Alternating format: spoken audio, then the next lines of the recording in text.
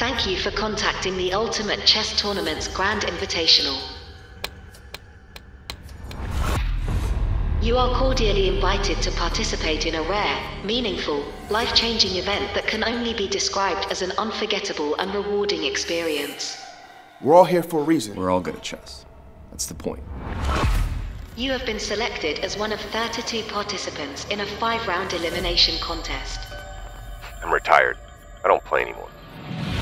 You are strongly encouraged to unleash your relentless attacks to increase your chances of victory. That guy freaks me out, man. Who plays chess like that? This is not what it's all about. What are you doing? This is a competition like no other. The winners will advance to the next round. This is crazy. The losers will not.